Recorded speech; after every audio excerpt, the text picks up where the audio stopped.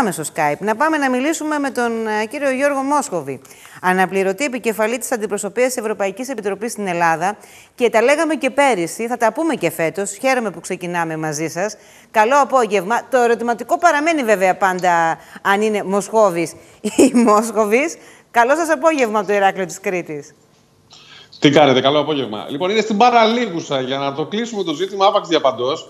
Ο τόνος πέφτει στην παραλίγουσα, κυρία, κυρία Ανδρεαδάκη. Είναι Μοσχόβης. Ωραία. Εγώ θα σας λέω Μοσχόβη, εσείς θα με λέτε Ανδρεάκη και θα συζητήσουμε ένα εξαιρετικό λοιπόν. Α, α, συγγνώμη, ναι. Δεν εγώ, πειράζει. εγώ, προσ, εγώ προσέθεσα, δεν αφαίρεσα την λαϊκή. και με τη μέθοδο της προσταφέρεσης, λοιπόν, θα μιλήσουμε ε, για τα καλά νέα της Ευρωπαϊκής Ένωσης και αυτή τη φορά και θα μιλήσουμε ε, για όλα εκείνα τα νέα τα οποία ισχύουν για εκείνους οι οποίοι κάνουν αγορές από το διαδίκτυο. Και θέλω να με εξηγήσετε, έτσι, για να ξεκινήσουμε λίγο την κουβέντα μας, για το τι σημαίνει ο όρος geo-blocking ε, ή διαφορετικά γεωγραφικός αποκλεισμός και πώς με συγκεκριμένες αποφάσεις πλέον τα σύνορα καταργούνται και στις ηλεκτρονικές αγορές. Ναι, είναι, κοιτάξτε, ε, πλέον στην ψηφιακή εποχή, στην, στην εποχή των νέων τεχνολογιών και της ταχύτητας του διαδικτύου, ε, η Ευρώπη έπρεπε να βρει τον τρόπο να υλοποιήσει την ελευθερία ε, πρόσβασης, κίνησης, ε, κυκλοφορίας των ανθρώπων, των υπηρεσιών και των προϊόντων, ακόμη και στα ψηφιακά μέσα. Αυτό ήταν μια αδυναμία την οποία αντιλαμβάνεστε, έπρεπε να, να την παρέλθουμε, να βρούμε τρόπους και δυνατότητες ώστε οι αγορές και η πρόσβαση σε υπηρεσίες online, ψηφιακές δηλαδή, να είναι ανοιχτή σε όλους τους Ευρωπαίους, όπου και αν βρίσκονται, και να έχουν τη δυνατότητα να αγοράζουν, να χρησιμοποιούν, να λειτουργούν, εν με πλήρη ελευθερία και, στην ψηφιακή, και στις ψηφιακές πλατφόρμες.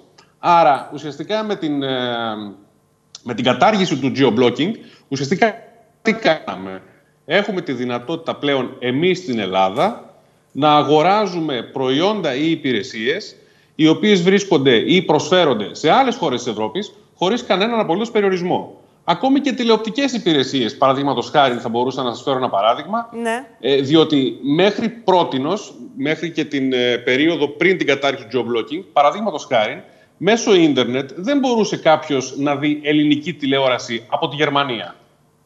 Αυτό πλέον καταργείται.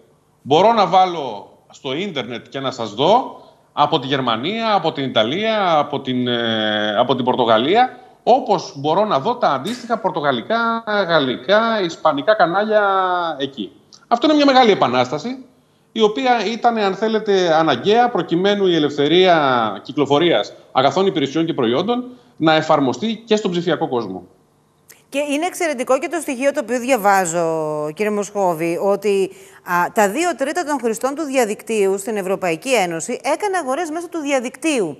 Μέχρι να πάρθει εν λόγω απόφαση, μόνο τρεις στους οκτώ καταναλωτές μπορούσαν να ολοκληρώσουν μία αγορά από μια άλλη χώρα της Ευρωπαϊκής Ένωσης. Δεν σας κρύβω ότι και σε μένα έχει τύχει προσωπικά από επώνυμες ε, μπράντες ή πολυκαταστήματα να έχω δει ένα προϊόν που να με αφορά στην Ιταλία, αλλά να μην μπορώ να κάνω την αγορά. Ε, καλά, ήταν και φορέ που δεν μπορούσα καν και να βρω το site, ας πούμε. Με γύρναγε στο δικό μου στη χώρα μου. Σωστό, σωστό. Ναι, διότι αυτό δεν ήταν, δεν ήταν εφικτό να γίνει για πολλούς λόγους. Ένας εκ των οποίων, παραδείγματος χάρη, ήταν ότι δεν μπορούσε μια ελληνική πιστοτική κάρτα, παραδείγματος χάρη, να γίνει δεκτή από ένα online κατάστημα στην Ιταλία. Μια και φέρα το παράδειγμα της της Ιταλίας. Αυτό πλέον πάβει να υφίσταται. Με την cash card, την, την, την κάρτα σας ή με την πιστοτική κάρτα σας, Visa, Mastercard, οποιασδήποτε μορφής κάρτα και αν έχετε, που έχει εκδοθεί από ελληνική τράπεζα, πλέον μπορείτε να ψωνίσετε είτε προϊόντα είτε υπηρεσίες από καταστήματα τα οποία έχουν την έδρα τους σε μια άλλη χώρα της Ευρωπαϊκής Ένωσης.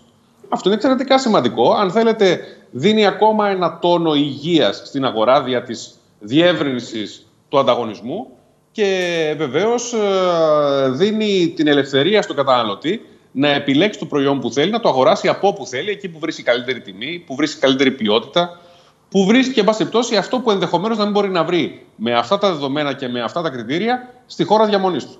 Και ενισχύει και την έννοια της Ένωσης ε, τρόπον την, σε πιο θεωρητικό επίπεδο, διότι ε, αυτού του τύπου τα μπλοκαρίσματα στο διαδίκτυο ε, δεν άφηναν όντως να νιώσεις ότι μπορούσες εύκολα, αφού μπορείς από την ξηρά να περιηγηθείς, γιατί αυτό να μην γίνεται και στο διαδίκτυο και να υπάρχουν αυτοί οι αποκλεισμοί. Αποκλεισμοί οι οποίοι πλέον δεν ισχύουν από τις 3 Δεκεμβρίου του 2018 και εντεύθεν, σωστά; Σαφέστατα. Δεν ισχύουν και αυτό που λέτε πράγματι είναι, είναι, δίνει μια αίσθηση πλέον ευρωπαϊκότητας, μια, μια αίσθηση ελευθερίας, η οποία συνδυαζόμενη και με άλλες δράσεις και με άλλες νομοθετικές και εκτελεστικές πρωτοβουλίες που έχει πάρει η Ευρωπαϊκή Ένωση, με, με, με πρόταση της Ευρωπαϊκής Επιτροπής, όπως παραδείγματος χάρη η κατάργηση των, ε, των τελών ε, ε, πώς το λέμε, περιαγωγής.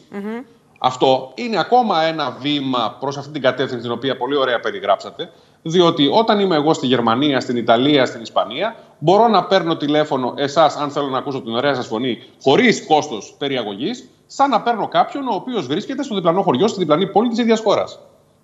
Ναι, και είναι γνωστές οι ιστορίες εκείνες όταν ε, μιλούσαμε με κάποιον που ταξίδευε σε μια Έτσι. χώρα της ε, Ενωμένης Ευρώπης ή έμενε. Κλείσε γιατί σε χρεώνω. Ακριβώς. Αυτό έχει περάσει πλέον στην ιστορία. Ε, θέλω να σας ευχαριστώ πάρα πολύ για τις ε, σημαντικές πάντα πληροφορίες που έρχονται και να ενισχύσουν την έννοια της συνοχής και της λειτουργίας ε, των χωρών κρατών της ε, Ευρωπαϊκής Ένωσης, αλλά και της αντίληψης του πώς μπορούμε να λειτουργούμε χωρίς αυτά τα μικρά εμπόδια, τα οποία αρχικώς υφίσταντο, αλλά πλέον έχουν καταργηθεί. Καλή συνέχεια σας εύχομαι. Να είστε πάρα πολύ καλά. Ευχαριστώ για την Καλό απόγευμα. Γεια σας. Καλό απόγευμα. Γεια χαρά.